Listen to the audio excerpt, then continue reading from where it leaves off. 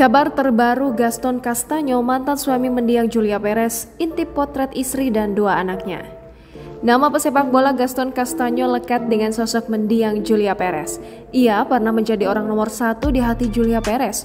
Julia Perez dan Gaston Castanyo mengawali hubungan mereka pada 2009 silam. Kala itu, sang pedangdut masih berstatus sebagai istri dari Demian Perez. Terkuaknya hubungan Julia Perez dan Gaston Castanyo membuat Demian Perez geram. Ia pun memilih bercerai dari sang artis. Setelah resmi bercerai, Julia Perez makin dekat dengan Gaston Castanyo dan mulai menjalin hubungan serius. Namun, niat itu ternyata tidak didukung oleh pihak keluarga Julia Perez karena ada sesuatu alasan hal lain. Meski begitu, Gaston Castanyo menjadi salah satu pengganti anggota keluarga yang tetap setia menemani Julia Perez saat melakukan pengobatan di rumah sakit pada 2017 silam.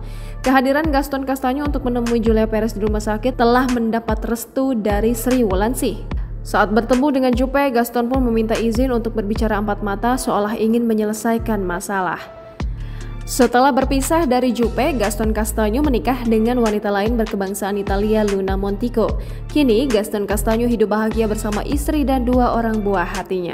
Mereka kemudian memutuskan menetap di Pulau Dewata, Bali. Dari pernikahan tersebut, Gaston dan Luna dikaruniai anak laki-laki yang lahir pada April 2018. Setahun kemudian, tepatnya Oktober 2019, mereka dikaruniai anak kedua bernama Salvatore Castagno. Jangan lupa subscribe, share, komen, dan like ya!